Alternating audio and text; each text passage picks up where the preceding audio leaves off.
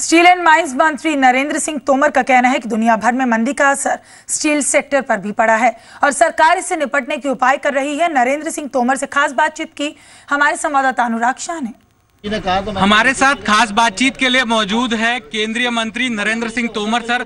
Sir सबसे पहला सवाल आपसे मैं यही पूछना चाहूँगा, स्टील सेक्टर जो है अभी फ़िलहाल दिक्कतों का सामना कर रहा है, किस तरह से प्रोत्साहन देने के प्रयास हो रहे हैं आपकी मिनिस्ट्री के द्वारा? इस्पात का क्षेत्र नियंत्रण मुक्त क्षेत्र है। ये हमेशा बाज़ार की स्थिति के अनुसार इसमें उतार चढ़ाव आते रहते हैं। इस्पात के क्षेत्र में वैश्विक मंदी है उसका असर हिंदुस्तान पर भी है।